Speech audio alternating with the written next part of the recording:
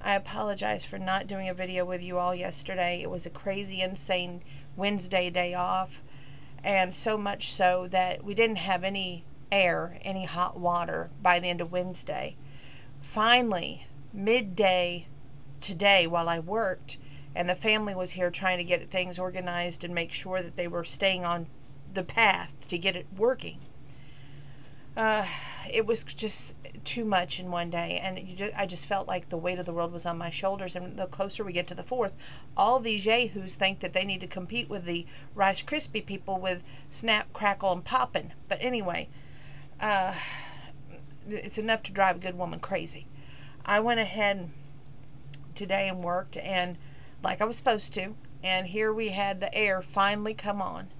And it's a blessing because now the cats can go back to the front room and Grandpa can have his walkway that he needs so he can get to his commode at nighttime without having to bump the cats. So that's a blessing. And that means the air unit that was in his room, they ended up taking it out. They had brought just a window unit for him and the animals, remember. So now we have air in the house. Knock on wood, hopefully it stays working. However, we still do not have hot water and they claim that they will have that with for us to, tomorrow. Now, here's the thing about it: my mom lives in Louisville, Illinois, and apparently that's where the part store is for this uh, company, and they.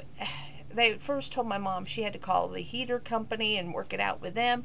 Well, the heater company's like, we don't talk with just everybody in the whole nation. We talk with companies and corporations that actually install these things She calls them back. It's a game of telephone tag, back, back, back, and back and forth. Ended up being that she finally is going to pick up the piece tomorrow down there in her area of Louisville, drive it up here, and they're going to put the little piece on that to fix the hot water heater, and they hope that it holds. Knock on wood.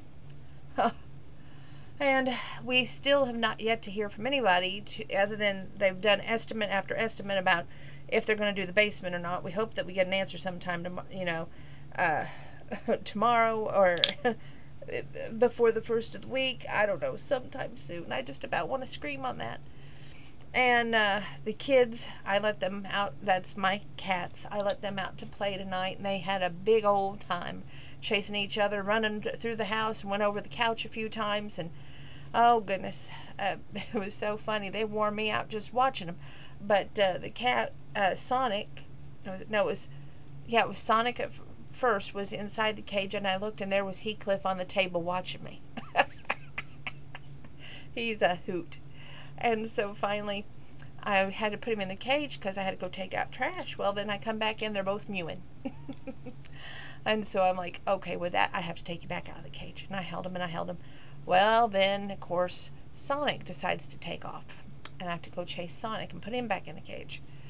So I put a cover over the cage just now so that they can grow tired and go to sleep and get their rest. And I want to come on here and do these cards so I can give the cards to my mom tomorrow so she can um, put them in the scrapbook. And I want to share some of these little uh, stories with you from the cards. Some people, when they write nice little tidbits, I like to share them. So stay tuned. The card shower continues up next.